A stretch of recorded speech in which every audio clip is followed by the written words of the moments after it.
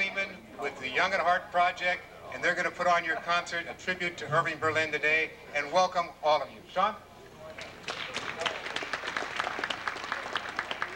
Thank you, Derek. Well, I'd like to introduce the band. Before I do that, I want to thank all you folks for coming out. We didn't know how many folks were going to be coming out. We're really surprised. I know that Rotary was surprised as they were carrying out more chairs and getting everybody set up. So we're glad you're here. We're glad to be here. And uh, a lot of you folks have seen me play before at the uh, senior banquet that uh, Rotary puts on, but uh, I think a lot of you haven't seen a number of the other Young at Heart performers. Most of them perform in the nursing homes, and we're just starting to do the local senior center. So what I'd like to do is begin by introducing the uh, members of the band from the wonderful, thriving metropolis of Fresno. On piano, the wonderful Johnny Fabulous.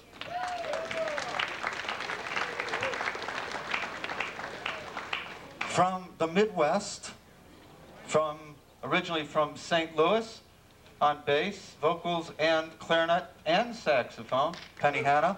Yeah. Yeah. On drums, from the island of Aruba. I don't know how you're so bright though. From Aruba, Richie Begin.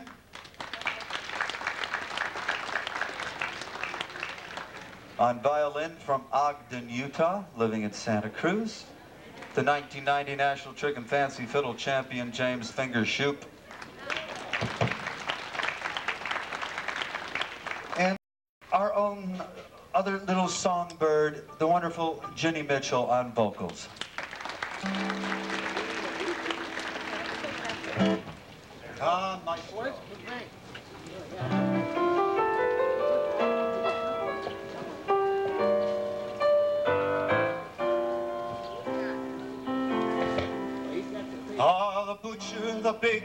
Grocer, the clerk are secretly unhappy because The butcher, the baker, the grocer, the clerk, they get paid for what they do, but no applause. They'd gladly trade their dreary jobs goodbye. for anything and why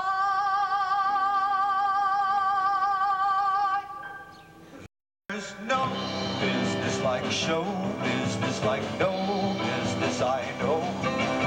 Everything about it is appealing. Everything the traffic will allow. You have a happy feeling. when you are stealing like show people. They smile when they are low. Even with a turkey that you know will fall.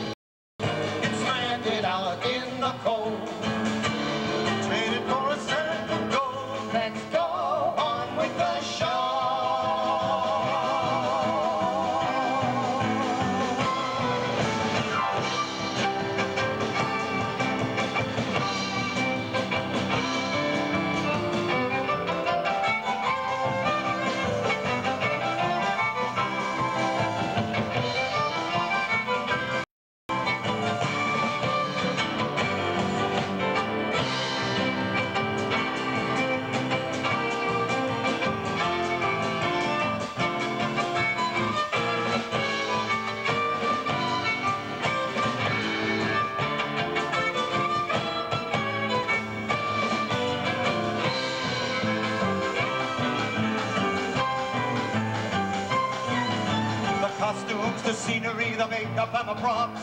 The audience that lifts you when you're down. The headaches, the heartaches, the backaches, the flops. The sheriff who escorts you out of town. The openings when your heart beats like a drum. the closing when the customers won't come There's no people like show people I know, people I know. You get word the night the show has started. That your favorite uncle died at dawn. Walked broken You're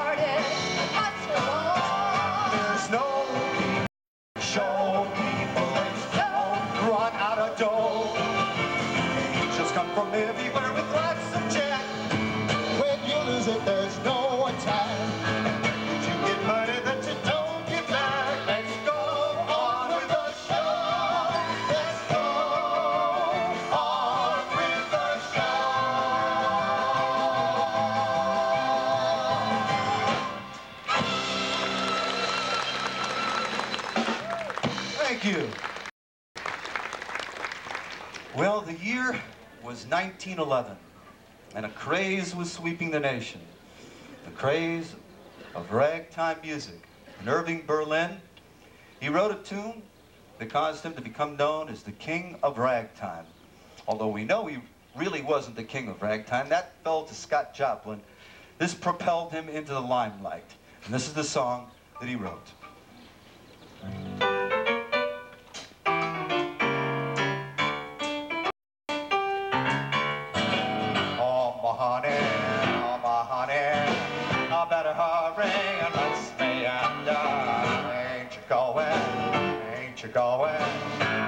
The leader man, oh, ragged meter man? Oh, my honey, my honey, let me take you to Alexander's grandstand brass band. Ain't you coming along on here?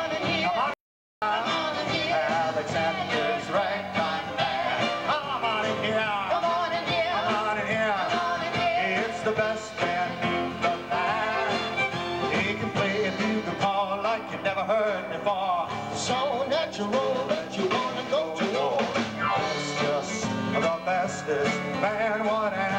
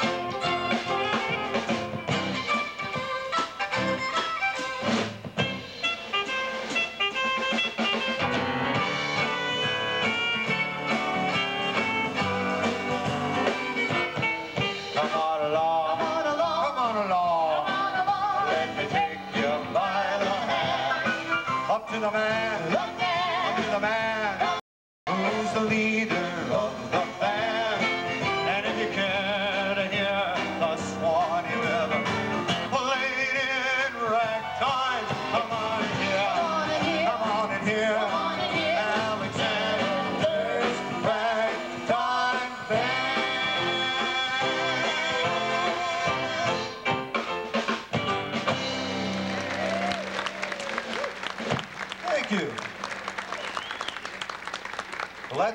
went on to sell over a million copies of music. Um, Al Jolson, perhaps, was the person most responsible for that. And in 1924, Irving Berlin was the number one songwriter in the country, and he was also in love. He was in love with a lady named Ellin Mackay. Ellin was the daughter of a wealthy industrialist. They lived in New York. Well, how wealthy were they? Well, they had a hundred acre estate overlooking Manhattan with a 50 room mansion and a staff of 128. That, folks, was just their summer residence. And they had the biggest summer house in the United States at the time, and they were at the top of the social registry in New York. But they weren't very high on Irving Berlin. Mr. Mackay had other plans for his daughter. He didn't want this little immigrant songwriter courting his daughter, so he decided to take her on a trip to Europe in the hopes that she'd forget all about Irving. Irving sat down and wrote what was to become known as the first torch ballad ever written, was introduced on Broadway in 1924 in the Music Box Revue. He wrote, Gone is that romance that was so divine. It's broken, cannot be mended. You must go your way, and I must go mine. But now that our love dreams have ended, what'll I do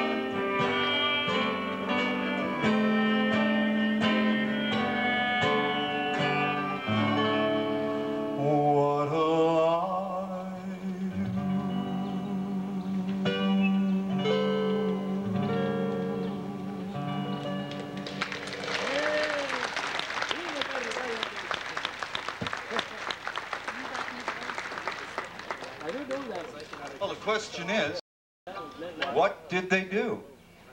Ah, it's a good story. Irving writes the song. It sells 2 million copies of sheet music. 10 million people are playing the song on the piano. 20 million people are singing the song. Mr. Mackay's plans backfire in a big way. There's no way that Ellin is going to forget about Irving. Everybody is talking about this song that he wrote for her.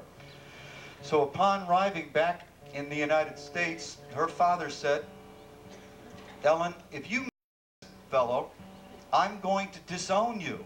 That 50-room mansion, that staff of 125, everything that you've grown to love so much, all the accoutrements will be gone.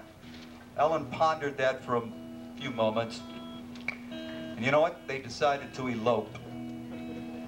And the night they got married, Irving Berlin, the proud man that he was, said to Ellin, I'll be able to support you in the manner to which you've grown accustomed. Now you have to remember that 50 mansion, staff of 120 something. With that, he said, I'm going to give you the rights to the next song that I've written. She said, Well, that may do well and it may not. And he said, Just in case the song doesn't do so well, how about this? And with that, he wrote her out a check for the sum of, you have to remember, this is 1925 now, or 1926, $5 million. That's the equivalent today of $100 million. And that song, on the next song that he gave her, oddly enough, went on to make more $5 million, because that was his most famous love song, named Always. And we'd like to have Ginny Mitchell sing the song for you.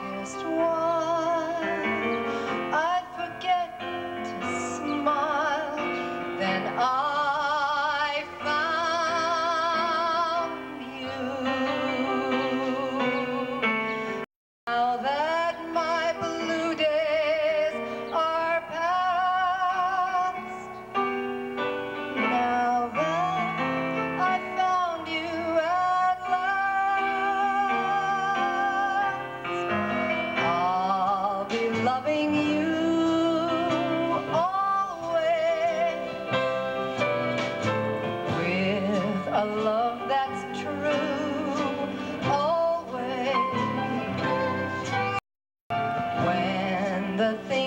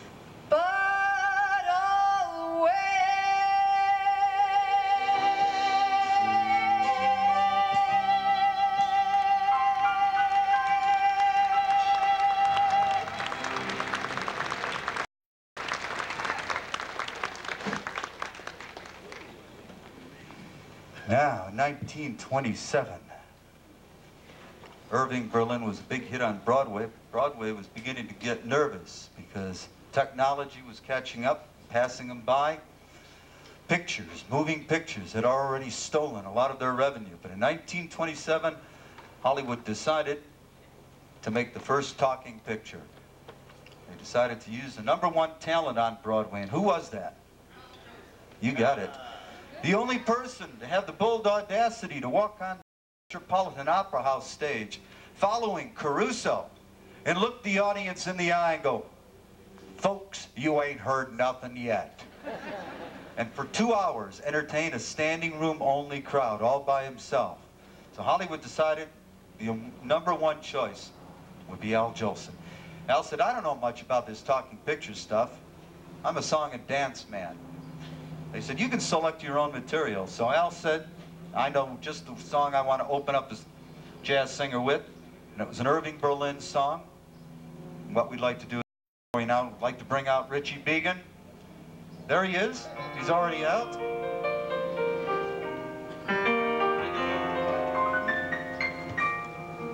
I was blue, just as blue as I could be.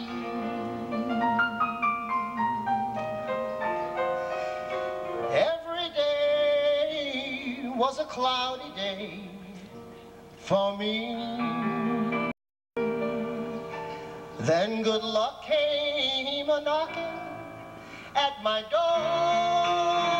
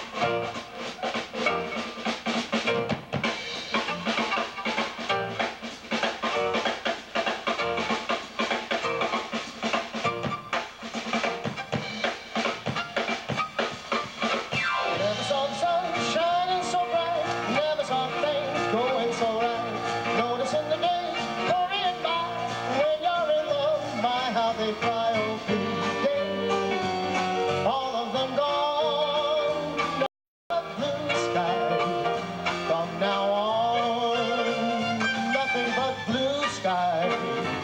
From now on,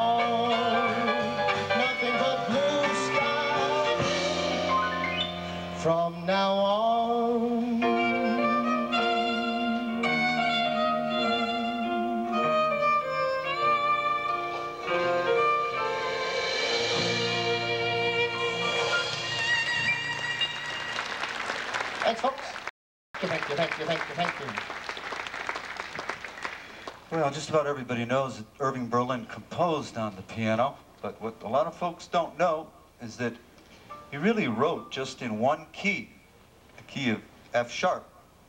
He had a little gizmo underneath the piano where he could change keys. A little lever or lever, lever, lever, lever, lever, lever. What was I trying to say? Level? Lever. Lever. Why did I have trouble saying lever? Anyway, Johnny, why don't you show him what you can on the black keys?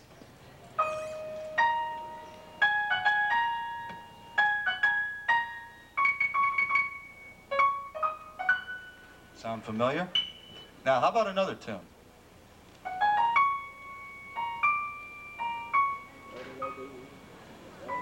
Ah. One more. Cheated. See, so next time you want to get down to the piano, you that can't play, you should just play on those black keys. You'd be amazed at how many songs you can come up with. Irving Berlin did pretty good. I got a song. make some You dough, too. You have a song? Yeah, I got a song. Folks, are you ready for a song? Hear this man here play? Yeah, all right. All right, Irving Berlin was famous for writing songs about uh, the things he loved, and he had good taste because this song is called I Love a Piano. As a child, I went wild the band played. How I ran to the man when his hands swayed. Clarinets were my pets, and I, I, I, this isn't I love a clarinet, lady. This is I love a piano. Clarinets were my pets, and a slide trombone I thought was simply divine. Yet today, when they play, I could hiss them. Every bar is a jar to my system. But there's one instrument that I call mine. I love a piano. I love a piano. I love to hear somebody play upon a piano, a grand piano. It simply carries me away.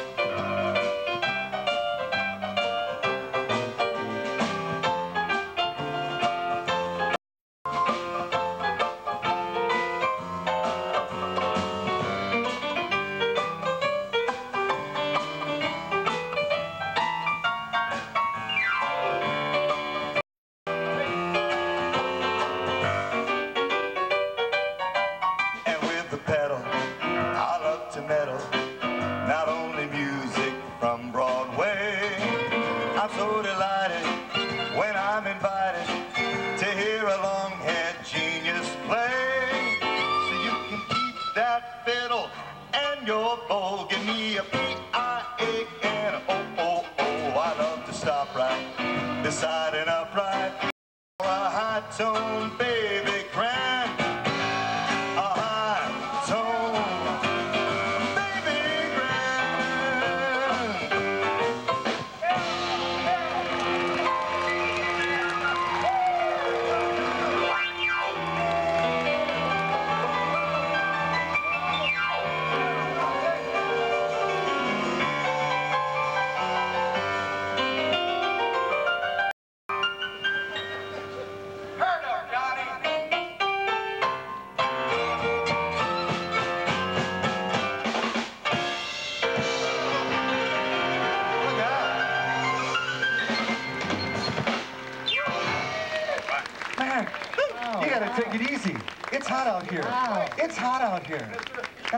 Yourself up here. You're wearing that hat, you're gonna drop over.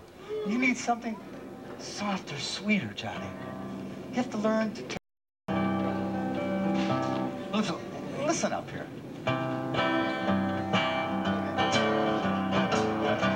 Won't you play a simple melody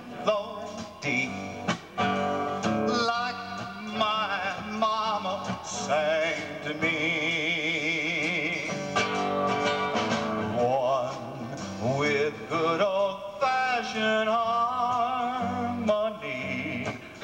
Johnny, play a simple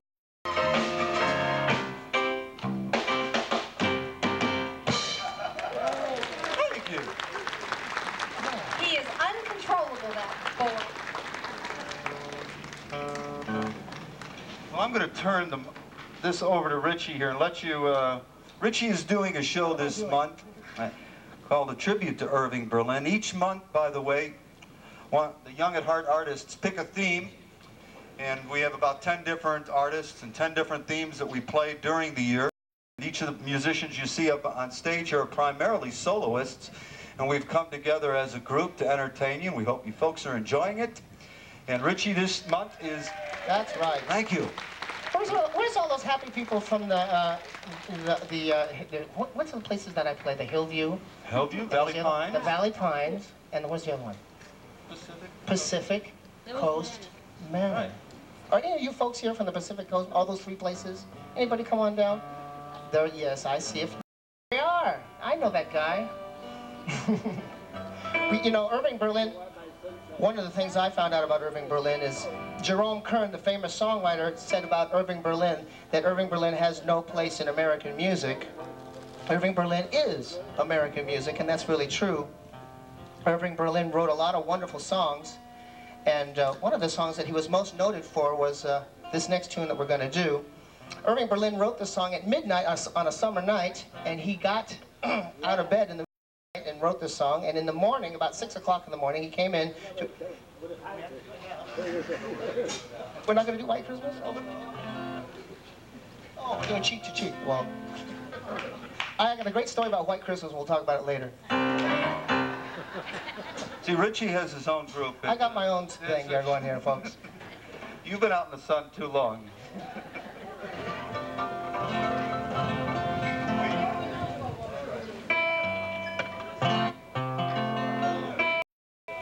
See what happened here, folks, is the sun and the heat have made this guitar go com- just about You know, completely out of know, I will- tune. I will say one thing. So you always have to worry about handing the microphone to the drummer because the drummer we all know is always in a different world. But he's an expert on that world. That's true. I live in the world of my own. Here's a tune that the one and only Fred Astaire introduced. It was an art picture, and it's called Cheek to Cheek.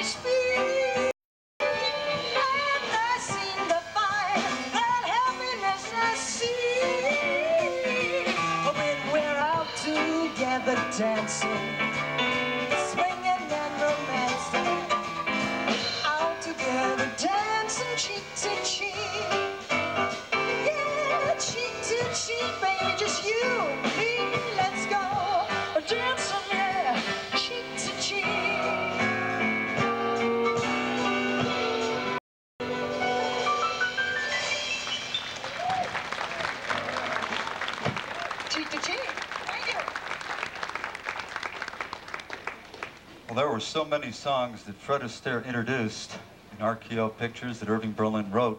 And this next song was in a movie called Carefree, where Fred Astaire played a psychologist or psychiatrist who had a friend that was in love with Ginger Rogers. And he asked Fred if he'd uh, hypnotize into loving him. Fred agreed. By the time he hypnotized Ginger into loving his best friend, he figured out that he was in love with her, but she wouldn't love him after that because she was already hypnotized to love his best friend. So it was kind of a farce, but it produced a lot of great songs, and this next one is called Change Partners. We'd like to bring out James Fingers Shupe to play it for you.